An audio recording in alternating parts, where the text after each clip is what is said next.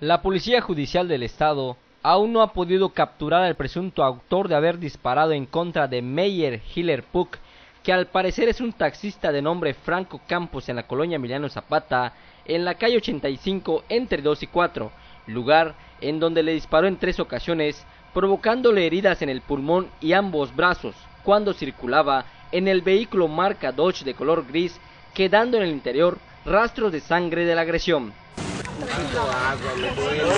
Nada de agua, nada de agua. Ya no aguanto. Ahí va, levántate, levántate, tranquilo, Meyer. Ay, Dios mío, por favor. Tranquilo, Meyer. Para ubicar al presunto agresor, se organizó un amplio operativo entre elementos de la Policía Municipal y la Policía Judicial del Estado, justo donde quedó el vehículo con las puertas abiertas y ventanas, con los vidrios despedazados y hasta el momento no han podido detener al presunto agresor.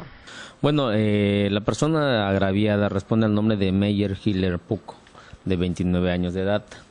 Él este, fue trasladado, presentado tres, este, en tres lesiones, uno que le dan la mano derecha, uno el antebrazo izquierdo y uno que este, a la altura de, del pulmón derecho. Eh, según médicos, esta persona está, se encontraba estable hasta el momento, toda vez que eh, no hay ninguna ojiva que haya lesionado algún órgano interno.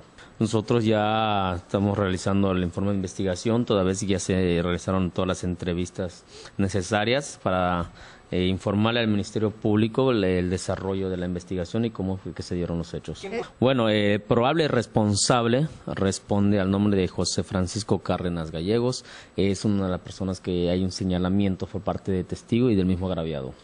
El día de los hechos, eh, al haber un reporte del 066, al llegar se inicia lógicamente una búsqueda, se inicia la búsqueda toda vez que hay el señalamiento tanto de testigos como de, del, lesionado y las autoridades que acudimos al lugar, efectivamente iniciamos un, una búsqueda de esta persona, misma persona pues en el momento después de realizar los hechos logra darse la fuga, lógicamente pues al parecer con ayuda de, otras personas, el mismo pues se anda, se esconde. Con referente al por qué se suscitó este problema, solo se limitó a decir que fueron problemas personales, cuando es del conocimiento público que las dos personas podrían estar involucradas en el narcomenudeo. Nosotros realizamos la investigación, y la investigación, la entrevista que se realizan a estas personas, eh, en la tarde ya habían tenido una discusión, ya traían algunos problemas allá, y el mismo Gabriel igual menciona también de que habían, que habían discutido por no nos menciona realmente cuál fue eh, en base a qué la, eh, la discusión. Para Canal 10 informó Jorge Cupul, imágenes Julio May.